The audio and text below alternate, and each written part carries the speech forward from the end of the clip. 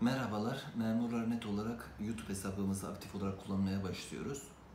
Ee, bugünkü ilk videomuzda Cumhurbaşkanlığı kararnamelerinin neleri düzenleyeceği ve düzenleyemeyeceği, neleri düzenleyemeyeceği konusunu ele alacağız. Ee, bilindiği üzere 24 Haziran seçimleri ve Cumhurbaşkanı Erdoğan'ın yemin etmesiyle beraber yeni Cumhurbaşkanlığı hükümet sistemi devreye girdi. İlk kararnameler 10 Temmuz tarihli resmi gazetede yayınlandı. Cumhurbaşkanlığı kararnamelerinin düzenleyebileceği konular anayasanın 104 ve 106. maddelerde düzenlenmiş. Ee, Cumhurbaşkanlığı kararnameleri temel olarak temel hakları, kişi haklarını ve ödevlerini düzenleyemiyor. Ee, en önemli konu Cumhurbaşkanlığının kararnamelerinin düzenleneceği en önemli konu teşkilat kanunları.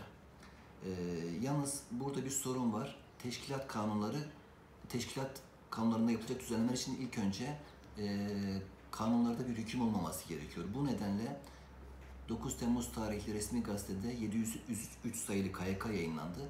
Bu KYK ile tüm teşkilat kanunlarında yer alan hükümler ve kadrolar kaldırıldı. Ee, sonrasında ise 10 Temmuz tarihli resmi gazetede ise 1, 2 ve 3 sıra nolu Cumhurbaşkanlığı kararnameleri çıkartıldı. Ee, bu saatten sonra yetki kanuna dayanılarak yeni bir kanun hükmüyle kararnamesi, kararname çıkartılması mümkün değil. Çünkü 71-42 sayılı yetki kanununun e, ikinci maddesine göre e, Cumhurbaşkanı'nın yemin etmesiyle beraber kanun hükmünde kararname çıkarma yetkisi sona erdi. Dolayısıyla bu saatten sonra yeni bir KYK çıkmayacak.